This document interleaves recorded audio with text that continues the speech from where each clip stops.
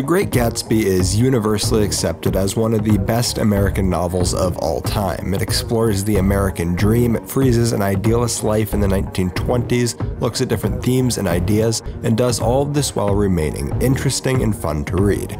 I think that calling it the definitive American novel describes it perfectly. When I saw the 2013 film, I felt somewhat disappointed, and not necessarily because of the decisions that Baz Luhrmann made, like the soundtrack or some of the more stylistic choices. My biggest problem with the movie is that it's a story that can't inherently be told through film. Let's take a step back because I know that that isn't the popular mentality. Stanley Kubrick once stated if it can be written or thought, it can be filmed. Now, clearly the story of The Great Gatsby can be filmed. It has been. In fact, The Great Gatsby has been adapted to film a total of five times. All of these took a different approach to telling the story, yet all of them seem to have fallen short to the very high bar set by F. Scott Fitzgerald in 1925. For the sake of being straightforward, I would like to focus this video on the 2013 film directed by Baz Luhrmann in his adaptation of the original novel. I will be discussing both, so make sure you're familiar with the story before continuing on with this video. There are two predominant layers in Fitzgerald's novel. The surface level story where Nick is taken into the world of the 1920s party scene and watches the relationship of Gatsby and Daisy unfold. And if you read the story as just that, the movies do a pretty great job at telling that story. But what makes the original novel so great isn't the somewhat cliched love story on the surface, but instead the themes and ideas hidden below the story.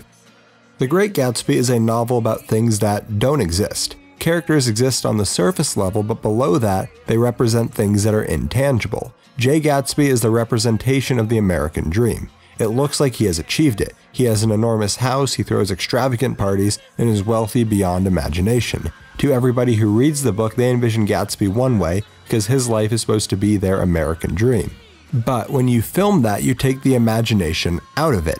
No longer does everybody who watches it have their own interpretation, but they are now forced to only have one. They can only see one.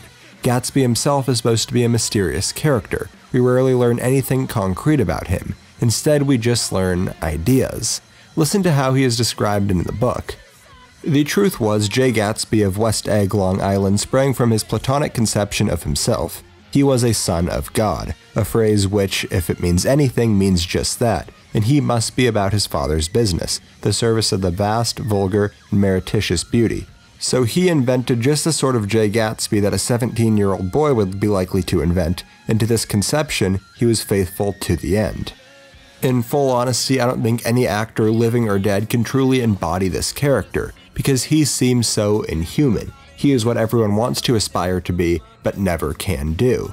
This lack of imagination that is presented through the film is one of the biggest problems with it. Fitzgerald's writing style is one that paints a picture for you. Everything seems to be laid out and formatted, and it's up to the reader to put their finishing touches on it, to add the details themselves. The movie takes that out of the equation. It simply gives you a story that you're already familiar with and asks you to soak it in. The imagination of building up this perfect world is taken out of the story, while the overarching narrative remains.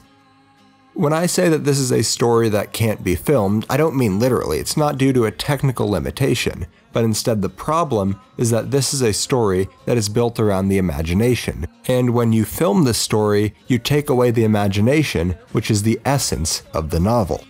But that's not the only reason. Another important reason is the lacking focus in the movie. The Great Gatsby is a book about America and how the promises of a land where success is determined by how hard you work have been broken. The people who are rich and successful do not work hard. They are out at parties all night and they drink during the day and rarely, if ever, work. It's the people who are lowest in society that do all the work in the Valley of the Ashes. In order to achieve success or wealth, you have to cheat your way to the top, and once you reach the top, you will always remain unsatisfied, always wanting something that you can't have that is just out of reach. The original book was a condemnation of the lifestyles of the very rich, yet this movie doesn't seem to condemn it or even look down upon it. This movie seems to glamorize it. Are you ready?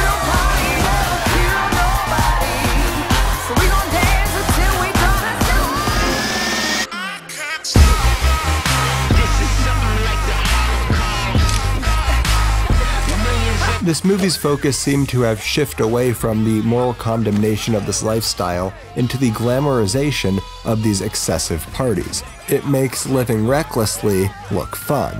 A big part of this movie's advertising was on the 3D and the excessive party moments. It's as if this movie is saying, This is fun, come experience it in theaters. Yet its message goes against everything that the novel stood for and that the novel promoted. Now, even though we do see some consequences of living the excessive lifestyle when Myrtle dies, it doesn't change what we have seen over the past two hours. This movie features about 25 minutes of party scenes, yet we spend just minutes in the Valley of the Ashes. I'd like to compare this to Leonardo DiCaprio's other movie released that year, The Wolf of Wall Street, which also showed excessive parties and a moral abhorrent lifestyle. In The Wolf of Wall Street, we don't see many victims, but we do see this lifestyle come crashing down and the party life that these characters live collapse. But we also come to dislike the characters we have grown to see over the past three hours. In The Great Gatsby, we see Gatsby as a tragic character, and not somebody who we are rooting for to fail. In the story, the eyes of TJ Eckleburg represent the loss of individual values in America. They sit above the Valley of Ashes, judging everybody. Over time, they lost their meaning, going from advertising to a moral judge of character. Just like the eyes themselves, this movie lost track of what it should be, slowly corrupted over time to be something completely different. Thank you very much for watching. I generally try to stay positive and look at why movies are great in this series, but I wanted to shift focus and try to cover why The Great Gatsby can only work as a book. I actually really like the 1974 and 2013 versions of this story, but really don't think that they're anywhere close to the book.